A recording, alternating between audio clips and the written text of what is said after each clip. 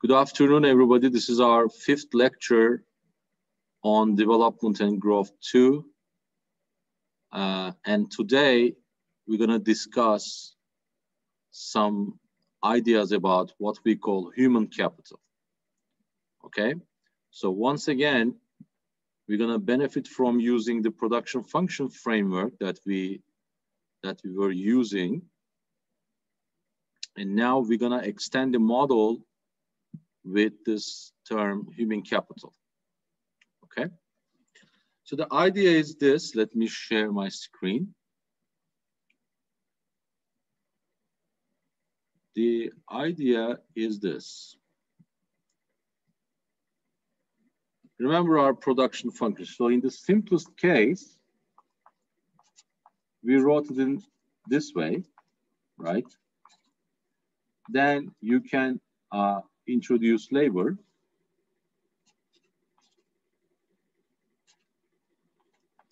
Uh, okay, in that way. Uh, so now I'm gonna tell you this. So there is this production function that means a different color. Okay, so there's output. Output is going to be produced by physical capital and labor, but now each worker will have a particular skill. Okay, or a particular um, human capital stock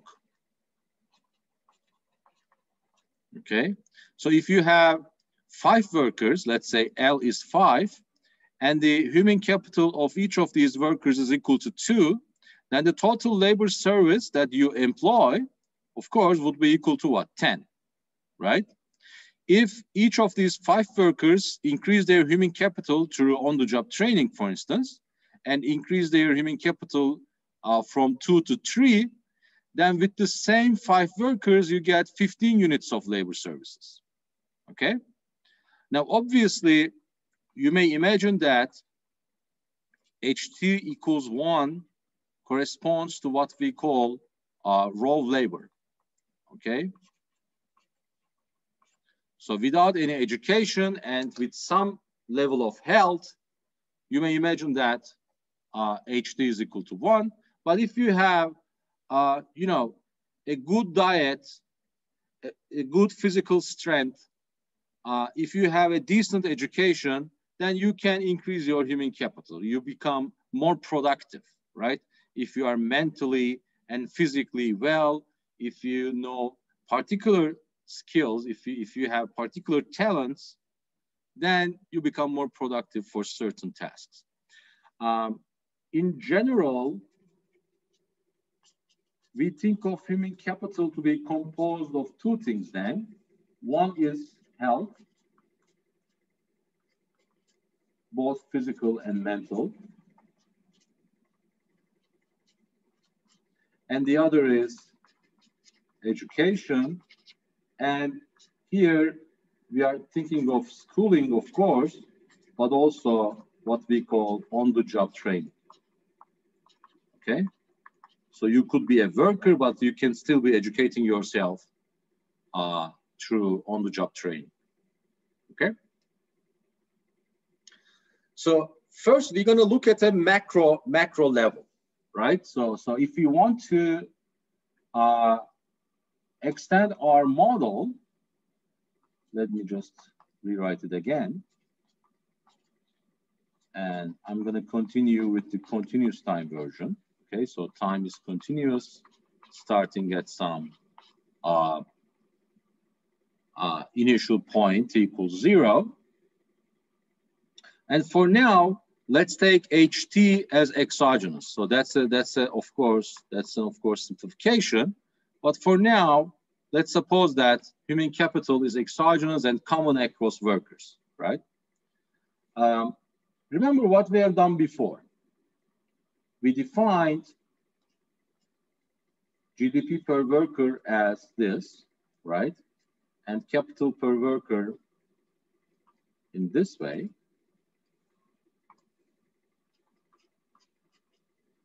Um, Then if, if you write YT, what do you have? You have uh, HT to the one minus alpha, right? And KT to the alpha. Okay, and if we still assume that S is the saving rate, right? And is the growth rate of uh, labor force, and delta is the depreciation rate, you can show me K dot T is equal to S times HT1 minus alpha, KT alpha, minus M plus delta KT, right? So the fundamental differential equation of the Solow model, now we extended the Solow model with human capital, becomes like this, okay? So there's a steady state. So if you suppose for a moment that human capital actually goes to a constant, right? So we in this in this particular version we assume that human capital does not go to uh, positive infinity. Okay, so it is it's a finite number. Then the fundamental equation becomes. Um, let me even simplify the notation.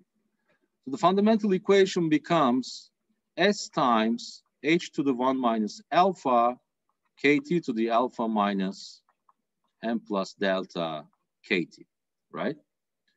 Um, clearly, we can draw the same figure. Now we will have uh, human capital in that equation. So uh, So if you draw it,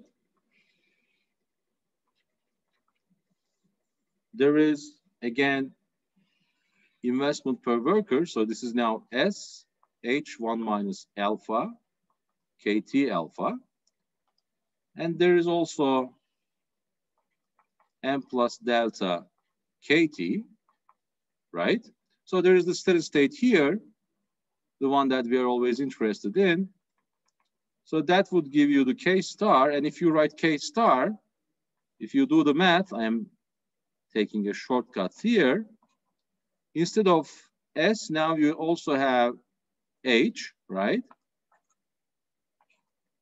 And you have M plus delta, then the exponent was one over one minus alpha, right? So if you, if you rewrite it, you have uh, H times S m plus delta 1 over 1 minus alpha. Okay, so what is what is y star? The steady state. Well, remember it is h1 minus alpha, k star alpha, right? So you have h1 minus alpha, h alpha, s m plus delta, alpha 1 minus alpha okay? So in fact, you can rewrite it as H Sm plus delta alpha 1 minus L. Okay? So as you see, in the long run, GDP per capita is proportional to human capital. Okay? Now, if you compare this with our earlier formulation when we when we um, uh, when we ignore human capital, you would you would basically get this part, right? This part would be GDP per worker. Now we have this additional term H. So from this, we understand that in the long run, some part of the variation across countries is explained by human capital, right? So suppose that there are two countries and you look at the long run level of long run differences across countries in terms of uh, GDP per worker. Oops. So this is H of J times, what do you have? Well, you have SI and I delta, right? And SJ, NJ, oops. Okay, I'm gonna I'm gonna do it in the next page.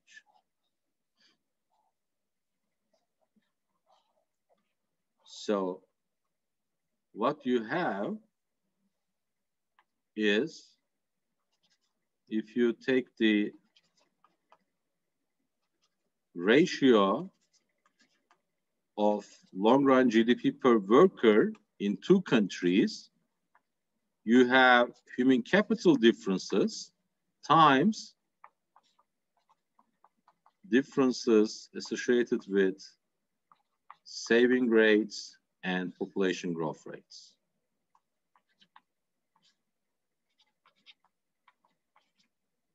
Right?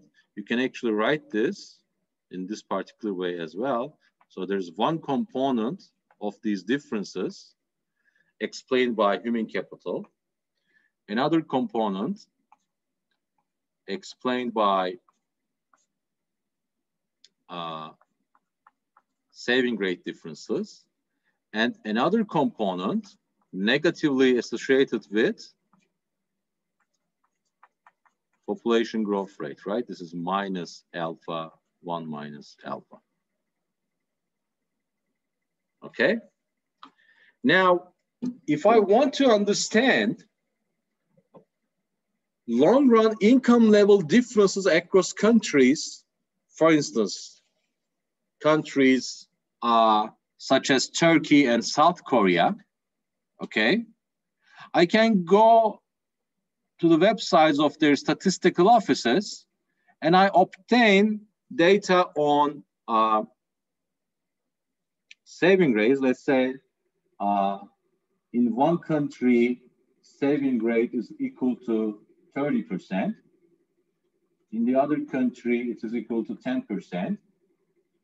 In one country, average human capital is equal to four. In the other country, average human capital is equal to 2.5, okay?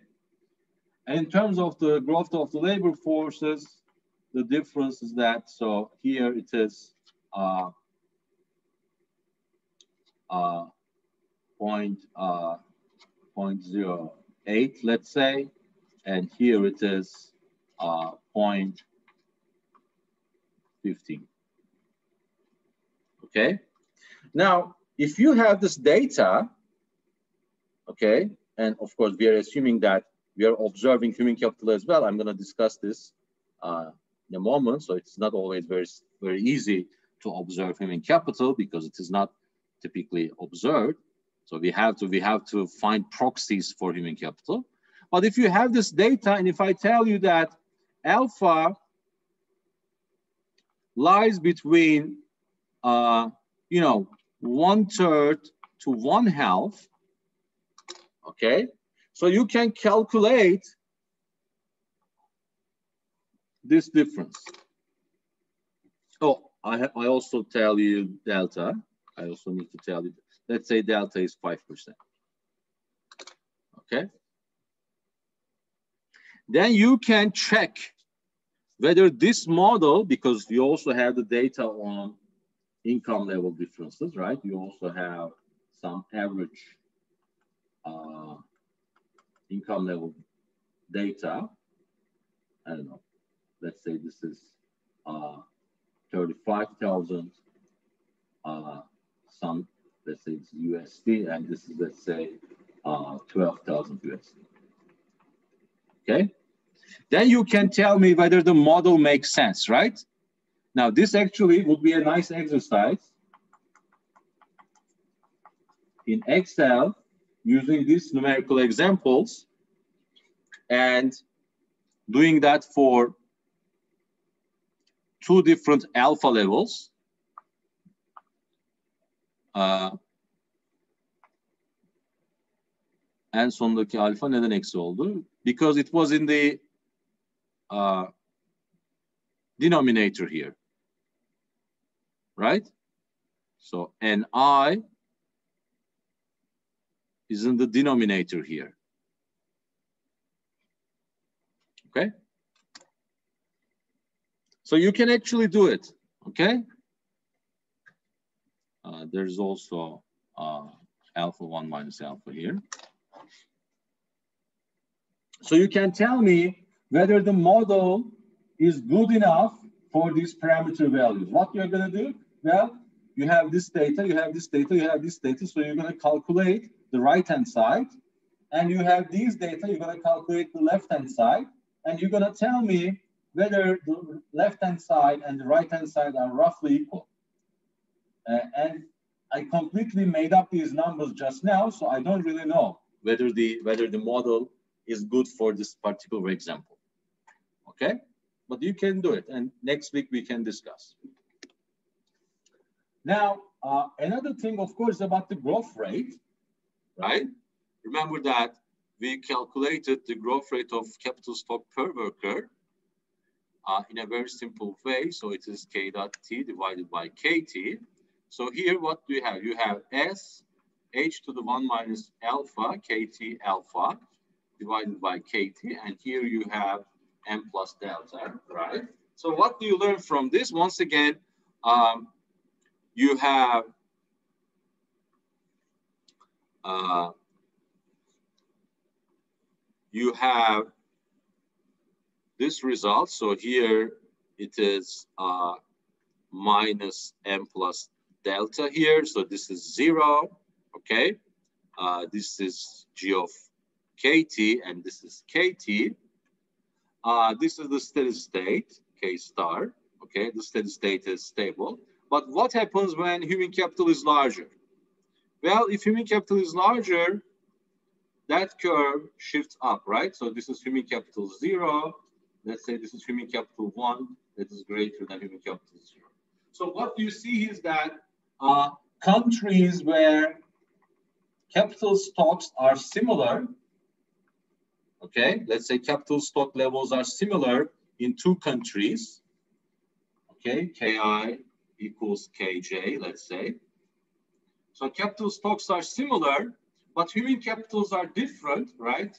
This is, let's say, country I, this is, let's say, country J, and HJ is greater than HI, then country with a larger human capital grow faster than country with a smaller human capital, right? because the growth rate is here for uh, for that sorry for for that particular capital stock level. The growth rate is here for country J, and it is here for country I. So you can understand both the growth rate differences and the income level differences by this extended model. But of course, this is just a model and we don't know how, how realistic uh, this particular production assumption is because we are still, we are still assuming away many different stuff, right? Such as technology or innovation. Here we understand productivity of labor only through human capital and physical capital. And this is still very limited, but it tells us something about, you know, it tells, it tells us something more about income level differences and growth rate differences, right? Because originally we just assumed that human capital is equal to one. And we know actually countries differ in terms of human capital. And, and each country also differs between the uh, you know, in, in, its own history, right? So countries typically start with low human capital, and in time, through modernity and with the industrialization, all this stuff, they get richer and they spend more on education, they spend more on health, and they become more productive workers in time. Okay, so that model is a is a good starting point for for all of these numerical investigations about income level and growth rate differences across countries. Uh, so obviously you can also you can also check whether growth rates actually depend on uh, human capital. There's a very nice paper by Mankiw, Romer, and Weil published in 1992 at Quarterly Journal of Economics. So you can actually check that paper. Uh, it has a very nice intro, and they argue that uh, we have to actually extend the Solow model with such human capital to, to make it more empirically, uh, more empirically satisfying. Okay. So let me pause for a moment if you have any questions about this. Uh, from now on, I'm gonna I'm gonna switch back to some microeconomic discussion about uh, how human capital actually be accumulated uh, through health and um, education investments. So if you have a question now, uh, you can you can ask.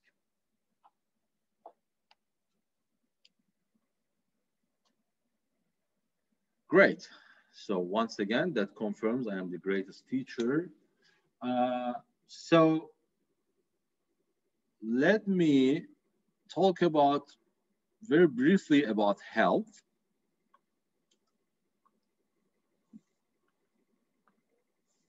Um, so there's a very nice model in, in David Weil's book.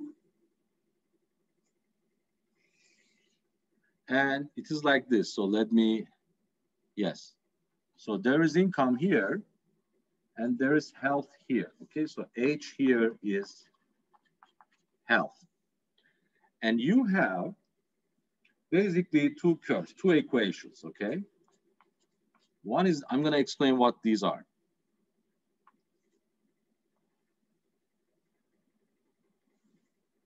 Okay, that is too steep.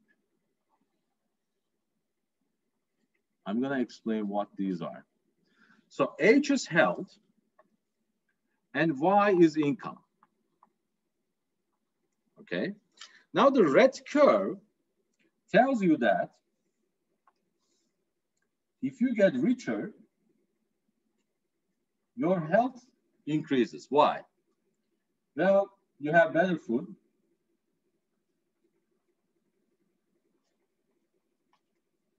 uh, better health services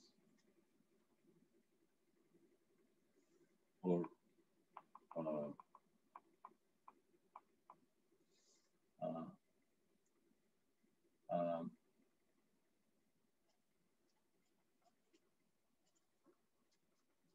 better healthcare and some other stuff you can add. Okay, you are happier perhaps. Uh, okay, so this red curve tells you that. So if your income is getting larger and larger, you become healthier because you have access to better food, you have access to better healthcare services. Uh, uh, perhaps you have more time to exercise, etc. Okay, healthy lifestyle, etc. Um, now the blue curve tells you if you get healthier, you earn more. Why? The reason is the productivity effect. Okay, productivity effect on wages. Okay, so if you are a healthy worker, okay, uh, you are more productive on gen in general. And in fact, if you are not very healthy, sometimes you even uh, cannot go to the go to work, right? So you can at some point, uh, with poor health conditions, uh, you lose income. Okay. So then it's like the chicken egg problem, right? Health is explaining causally higher incomes because there's a productivity effect on wages. And income, in turn, also causally explains health because you have access to better food, better healthcare services, etc. So there is a two-way relationship between health and income. Okay, and equilibrium, of course, must be here, right? So then, when the two curves intersect, you have an equilibrium level of income and an equilibrium level of health. This is from Weil's textbook, by the way. Okay. Now, how do we use this model to understand, I mean, to make this uh, an economic, uh, economic analysis. How, how, how, how, I mean, what can we ask and what can we answer? So think of this. Suppose that, uh, let's, let's slightly extend the model, okay? Suppose that there's a variable, uh, oops, okay. Just a sec. So, okay.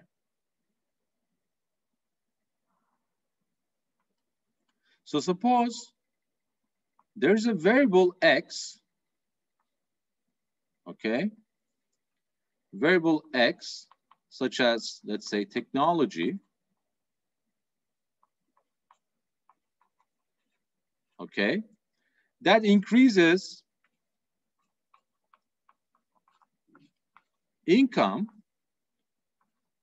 for any level of health. Okay, so when X is larger,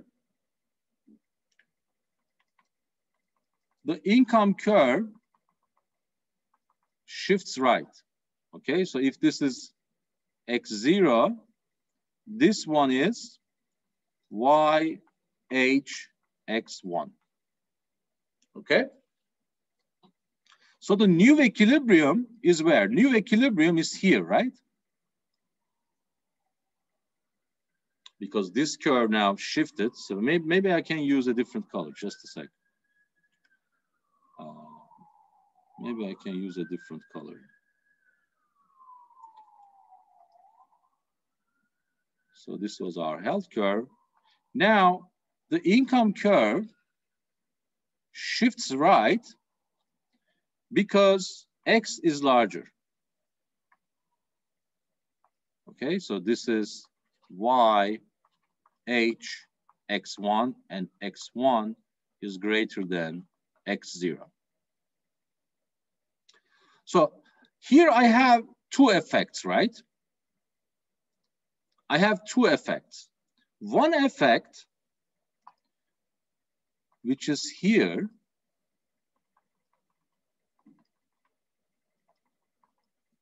okay, this part.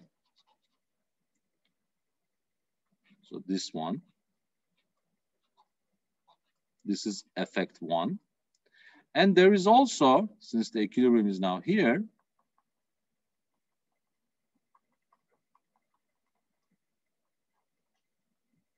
there is also this effect, E2. Now, effect one is directly because of X, right?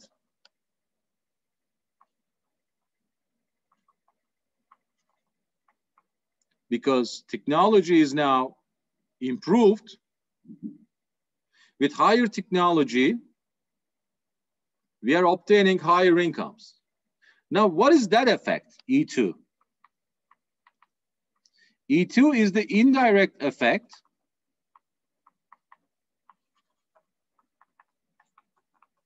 through health, right? When my income is getting larger, I obtain that additional that additional health. So the effect that I observe on income, right? This is Y0 star and this is Y1 star the effect I observe has two components. One is the direct effect on x of x. The other thing depend, depends on the derivative of health with respect to income. Okay?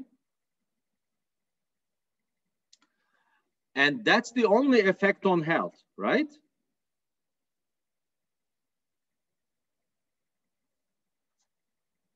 That's the effect on health. And that effect on health create this additional indirect effect on incomes.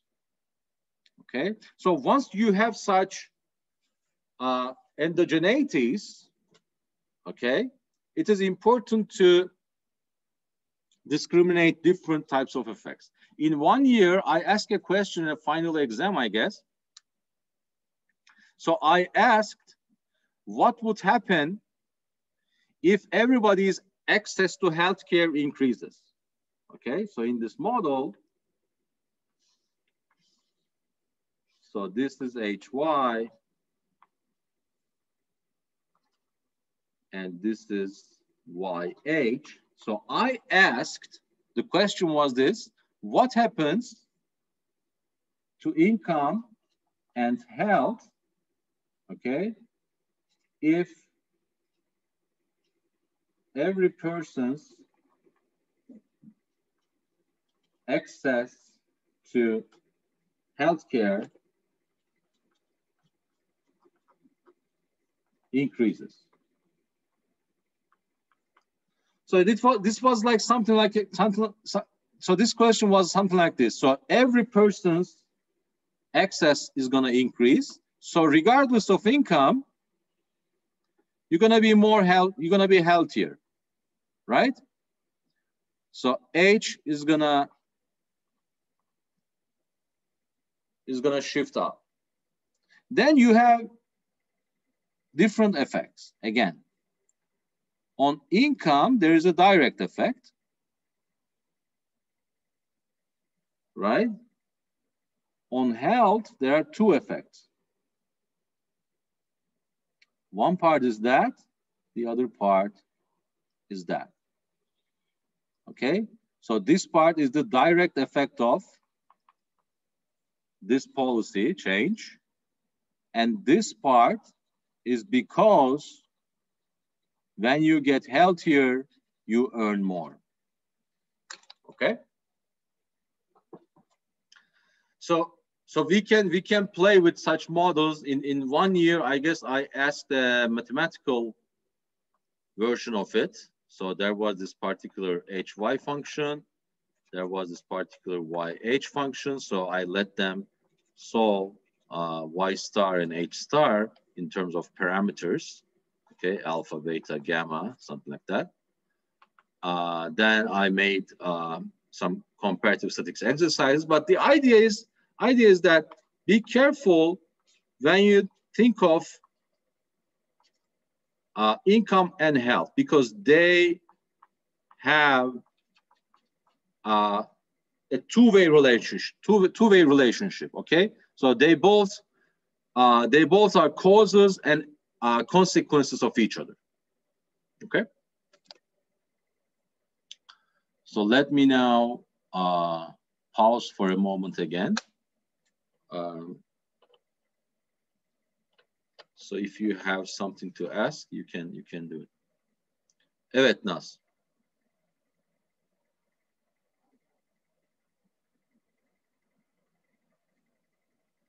Uh, you are you are muted, Naz. Naz, we cannot we cannot hear you. I'm sorry. I was asking why yeah. is the health curve concave? Is it because I can only be healthy to a certain level, or that I spend so much that it decreases my income in the uh, future? Uh, they're both, right? So there is there is a there's a limit.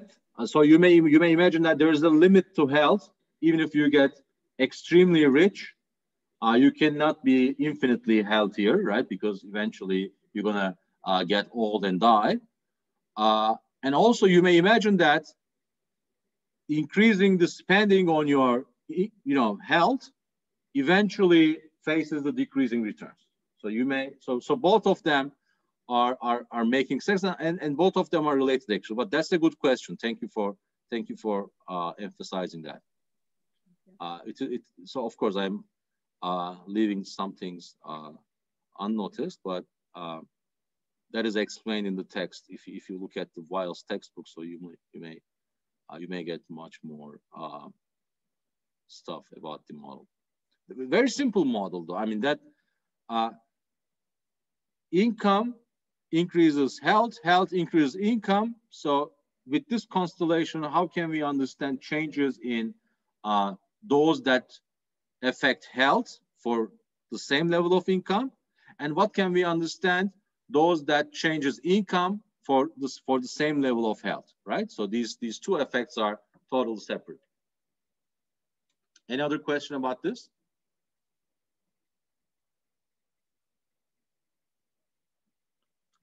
Great, so let's take another break. And before uh, and after the break, we're gonna talk about education, our, our most popular issue, right? So uh, time is now around 2.30. So let's meet at 2.45, okay? Let's meet okay. at 2.45 for our third session. Okay, bye-bye.